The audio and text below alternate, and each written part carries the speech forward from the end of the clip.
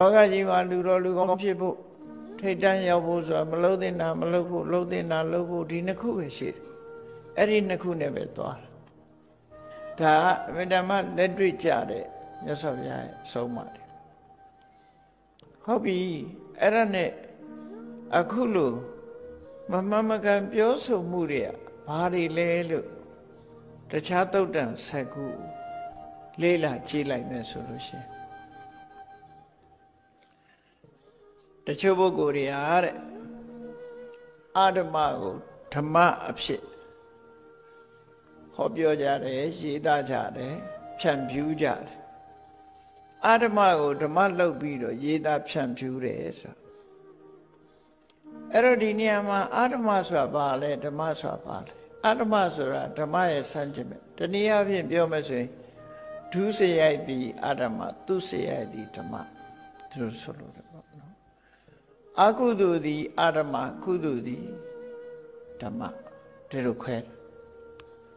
တော့ဓမ္မအာဓမဆိုတာလူတော်လူကောင်းတွေရဲ့အသိဝိုင်းမှာငကိုတဲ့အခွဲခြားပြီးရှိတယ်ဒါမို့ Buddhist ethics ဆိုတဲ့အခါမှာဒီ moral principle လို့ပြောတဲ့ဟာပေါ့နော် Buddhist ethics moral principle principle ကိုကျင့်တရားနဲ့ပတ်သက်လာတဲ့စီမင်းစည်းကမ်းတွေကိုကျင့်တရားနဲ့ပတ်သက်လာတဲ့စီမင်းစည်းကမ်းတွေဆိုတာပညာရှိသူတော်ကောင်းတွေလူသားတွေလူအတိုင်းဝိုင်းထဲမှာကောင်းတယ်လို့သတ်မှတ်ထားတဲ့အရာတွေ moral principle တွေကြီးပဲကောင်းလို့လူအတိုင်းဝိုင်းထဲမှာအကောင်းလို့သတ်မှတ်ထားတာခုမှမဟုတ်ရှေးတယ်ရှိရင်ကျေးတဲ့လူတွေရဲ့အတိုင်းဝိုင်းမှာ အခုတော့နည်းနည်းပြောင်းပြန်ပြန်တာကိုပဲလူတွေကစိတ်ဝင်စားနေတယ်နော်ကြိုးစားပါလို့ပြောတဲ့စကားကိုမကြိုးစားနဲ့ဆိုတာကိုအကောင်းထင်နေပြန်နော်မကြိုးစားနဲ့ဆိုတာကိုအကောင်းထင်လောက်ရမယ်ဆိုတာကြတော့မလောက်ရဘူးဆိုတာ ਨੇ အကောင်းထင်နေပြန်ဖြောင်းပြန်နေခုခေတ်မှာဖြစ်လာတယ်နော်ဖြောင်းပြန်နေဖြစ်လာ အဲ့တော့တတိထားစရာတွေအများကြီးလူလောကကြီးမှာခဏဖြောင်းနေဖြောင်းပြန်ကိုသဘောကျတဲ့ခေတ်ရောက်လာပြန်တယ်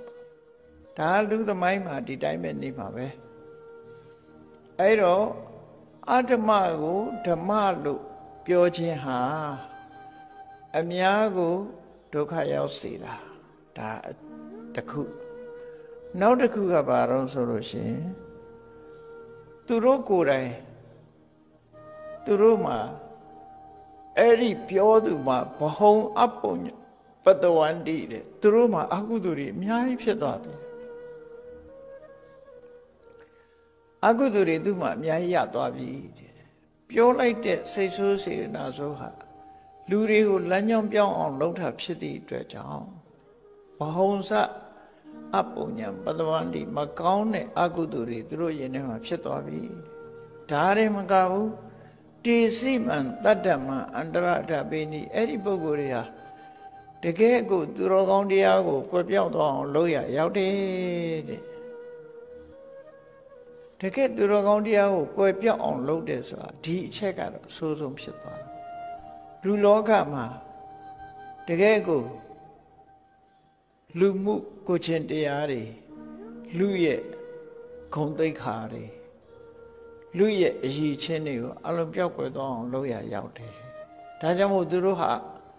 အကုသိုလ်များစွာဖြစ်တယ်လို့သူတို့ဆိုတာနော်သူလုံးလိုက်လို့ဘလောက်ထိခိုက်သွားတယ်ဆိုတာကိုပြောတာအဲ့တော့အဓမ္မကိုဓမ္မလို့ဟောပြဟောပြောရေးသားခြင်းတွေဟာဘုရားမအပြည့်ကြီးတယ်နောက်တစ်ခုကပြောင်းမြန်မယ် ဓမ္မကိုအဓမ္မလို့ပြောရင်ခုနအဓမ္မကိုဓမ္မလို့ပြောရင်တခါဓမ္မကိုကြတော့အဓမ္မလို့ပြောရင်ခုခေတ်မှာတော့ရှိသေးတယ်လေနှစ်ဦးသဘောတူရင်ကာမေသူမိစ္ဆာစရာမဖြစ်ဘူးတဲ့ပြည်သူပိုင်းပစ္စည်းကိုခိုးလို့ရတယ်ဆိုတာမျိုးခိုးတယ်ဆိုတာကိုယ်ပိုင်ပစ္စည်းမဟုတ်တာမှန်တယ်ဗျဘယ်ပစ္စည်းမှခိုးလို့မရဘူးလေ တကယ် moral principle မှာမြတ်စွာဘုရားကပါဏာတိပါဒဆိုတာကိုကြည့်မြတ်စွာဘုရားပြည့်ညတ်တာကြည့်သက်ရှိတရဝမှန်သမျှအကျဉ်းတရားထားရမယ်ကရုဏာထားရမယ်မေတ္တာထားထိုသက်ရှိတရဝတွေကိုအသက်ရှင်တန်ခွင့်မပေးခြင်းဟာစေရနာကောင်းမဟုတ် ဘူး။ဘာကြောင့်လဲလို့ဆိုရင် ကိုချင်းစာတရားကင်းမဲ့ရရောက်တယ်။ကိုကတော့ဘဝမှာရှင်တန်မြင်တယ်။ကြံတဲ့လူကြံတဲ့တရဝကိုရှင်တန်ခွင့်မပေးဘူးဆိုတာမတရားတဲ့လို့ရလို့ခေါ်တယ်။မြတ်စွာဘုရားကဒီ ethic ကိုကိုချင်းစာတရားနဲ့အခြေခံပြီးဟောတဲ့တုတ်တန်ရှိတယ်။ဝေလူတော်ရိယတုတ်လို့ခေါ်တယ်။အဲ့ဒီမှာကိုချင်းတရားနဲ့ပတ်သက်လာလို့ရှိရင်များများကြီးမသိခြင်းနေ ကိုချင်းစာတရားနဲ့ကြည့်ကိုချင်းစာတရားဆိုတာငါကိုလာတတ်ရင်ငါကြိုက်မလားကိုယ့်ကိုမေခွန်ထုတ်တယ်ဖြေထုတ်အောင်ငါကိုလာပြီးတော့ရိုက်မယ်နှက်မယ်တတ်မယ်ဖြတ်မယ်ဆိုရင်ငါကျင့်တတ်မလားအဲ့တော့ငါလည်းသူများကိုရိုက်မယ်နှက်မယ်တတ်မယ်ဆိုရင်သူများလည်းမကျင့်တတ်ဘူးမကြိုက်ဘူးအဲ့တော့ငါမကြိုက်တဲ့အလုပ်ဘာလို့သူများလုပ်မလဲ ငါပစ္စည်းခိုးခံရရင်ငါကျေနပ်မလားအဲ့တော့ငါမကျေနပ်ဘူးငါမကျေနပ်ရင်သူပစ္စည်းလည်းငါမခိုးနဲ့ငါတမယာကိုလာပြီးတော့စောကားတဲ့ဂုံသိက္ခာကြောင့်လို့ရင်ငါရောခံနိုင်ရလားမခံနိုင်မခံနိုင်ရင်ငါလည်းသူမြတ်သားမယာမစောကားဘူးလူတယောက်ဟာဒုက္ခရောက်တော့အောင်ငါလိန်ပြောမယ်တရားယုံတက်ပြီးတော့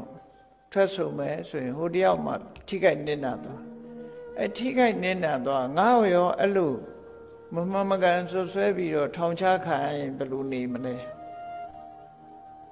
မတရားသက်တည်လိုက်ပြီးငါ့ကိုရောဒုက္ခရောက်အောင်လုပ်ရင်ငါကြိုက်မလားမကြိုက်ဘူးမကြိုက်ရင်သူများလည်းမလုပ်နဲ့ဟောဒီလိုဆိုလို့တယ်အဲ့ဒါကိုအတုပနာယိကလို့ခေါ်တယ်ပါဠိလိုအတုပနာယိကဆိုတာအတ္တဥပနာယိကကိုချင်းစာတရားအရာရာကိုနဲ့ပဲနှိုင်းရှင် ကိုနဲ့နှိုင်းရှင်ကြည့်တာအဲ့ဒါကိုနဲ့နှိုင်းမရိုင်းဆိုတဲ့စကားပေါ့နော်ကိုနဲ့နှိုင်းကြည့်ရကိုမကြိုက်တာသူရမလုပ်ပါနဲ့လို့ဆိုလို့တယ်ကိုကိုမကြိုက်တာကိုဒုက္ခရောက်နေတဲ့ကိုမနစ်သက်တဲ့လုံမျိုးကိုလည်းသူမြောက်မလုပ်ပါနဲ့လို့ဒီလိုဆိုလို့တယ်အဲ့တော့ဓမ္မအာဓမ္မခွဲခြားနည်းကိုခေါနာကိုချင်းစာတရားအခြေခံပြီးတော့ခွဲလို့လည်းရတယ်ပေါ့ လူတိုင်းလူတိုင်းဟာလက်လန်းမိနိုင်တယ်ဒါကိုချင်းစာတရားအဲ့ဒါဝေလူတော်ရိယသုတ်တံမှာဆိုရင်မြတ်စွာဘုရားအဲ့လိုဟောတယ်ကိုချင်းစာတရားကိုအခြေခံပြီးတော့ကိုချင်းတရားကောင်းမွန်အောင်ကြိုးစားပါဒါအမတမအခြေခံကြတဲ့မြတ်စွာဘုရားဆုံးမတရားတွေငရဲကြတာမကြတာတွေအသာထားကိုချင်းစာတရားနဲ့ပဲစဉ်းစားကိုလက်လန်းမိတာနဲ့ပဲစဉ်းစားကြည့် အဲ့တော့အာဓမကိုဓမ္မလို့ဟောပြောမယ်ဖြန့်ဖြူးမယ်ရေးသားမယ်တခါဓမ္မကိုတော့အာဓမလို့မမမကန်ပြောကြမယ်ဟောပြောမယ်ဖြန့်ဖြူးမယ်ဆိုတဲ့ပုဂ္ဂိုလ်ဟာအများကိုဒုက္ခရောက်စေတဲ့ပုဂ္ဂိုလ်ပဲဖြစ်တယ်အကုသိုလ်တွေများစွာသူ့မှာဖြစ်မယ်ဒါတွေမကဘူးသူတော်ကောင်းတွေရဲ့ကိုချင်းတရားတွေဟာကွယ်ပတော့သူလှုပ်တာဖြစ်တယ်ဟောသူက သူအပြစ်၃မျိုးကိုကျွလွန်ရရောက်တယ်အပြစ်၃မျိုးအများကိုဒုက္ခပေးတဲ့ပုဂ္ဂိုလ်ဖြစ်တယ်သူကိုယ်တိုင်ကလည်းအကုသိုလ်တွေအများကြီးရယူတဲ့ပုဂ္ဂိုလ်ဖြစ်တယ်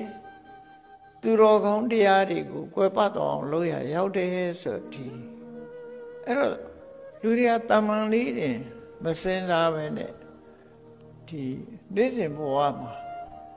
ကိုလုံးလိုက်တဲ့အလုပ်တစ်ခုဟာတစ်ဖက်သားကိုထိခိုက်နစ်နာသွားတယ်ဆိုတာမျိုးဟာမတမတတိထားပြီးရှောင်ရှားမယ်ကိစ္စတစ်ခုပေါ့ဒါအပြောဆုံးနဲ့ပတ်သက်တာတွေပေါ့